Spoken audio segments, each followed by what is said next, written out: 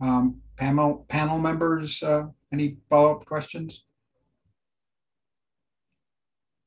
Not seeing any, uh, we can move to our next speaker, Jack McDonald.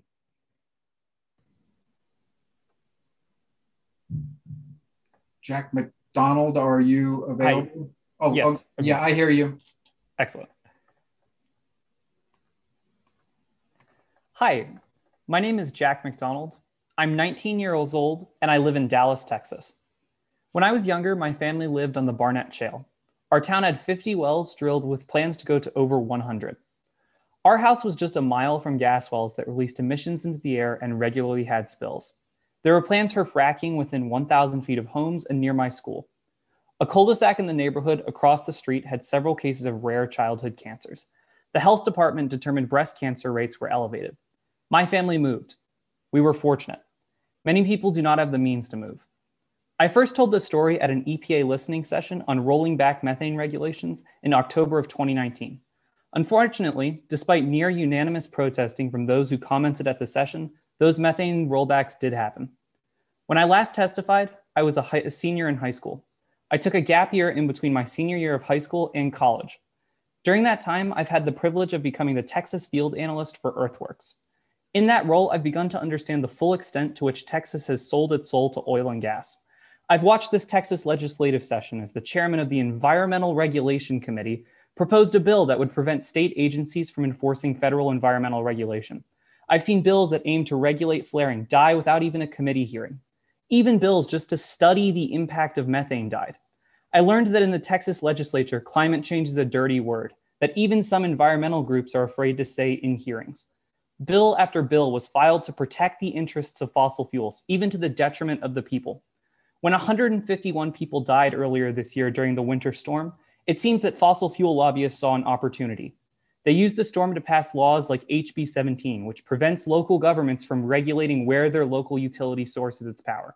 Even the few Democrats willing to say the word climate change supported that bill, despite the representative who filed it saying in a hearing that it was designed to target the climate plans of cities like Dallas and Austin.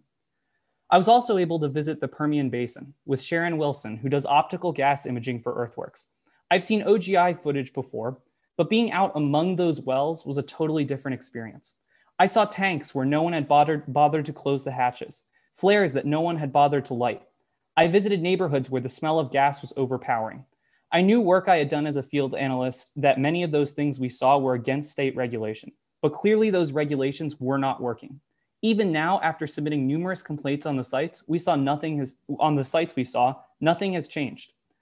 I worked on research understanding the extent to which Texas has failed to regulate its oil and gas producers. Through that research, I learned that oil and gas operators were failing to get permits more than 75% of the time for their flaring. That report, which Earthworks published earlier this year, elicited a response from the Railroad Commission.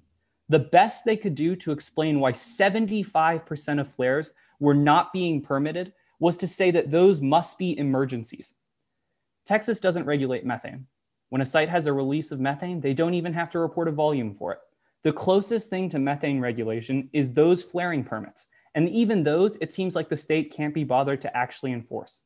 I've only been working in this field full time for about nine months, but I understand the pollution that Texas and oil ga- and gas communities live with, and the dread with which the rest of the world looks at Texas and our outsized contribution to the climate crisis. If Texas is left to its own devices, it will bring the rest of the world hurtling towards climate catastrophe. Texas is an environmental rogue state, and we need the EPA's help to stop it.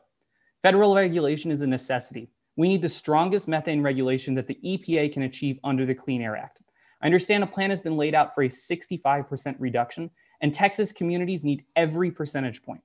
Moreover, Texas regulators are not equipped nor inclined to regulate the oil and gas industry. They'd rather let oil and gas do what they want, regardless of the consequences. Texas needs to be stripped of its ability to enforce the Clean Air Act. Texas and the planet need the EPA to intervene. I'm only 19. I'm going to college next year. My generation needs time to be prepared to fully address the climate crisis, time to learn, grow, innovate, and contribute. We'll gladly seize the reins when the time comes, but you've got to give us the breathing room to do so. Thank you. Thank you. Um, Any following questions for the from the panel? Yeah, this is Amanda. I was just, could you provide uh, what bill that was that you said was preventing uh, enforcement of federal regulations? Yeah, the bill did not pass. I can, Okay. I don't have the number off the top of my head. It was filed by uh, Representative Landgraf. Gotcha. Okay. Thank you. Thank you. Okay, thank you. Um, we have our next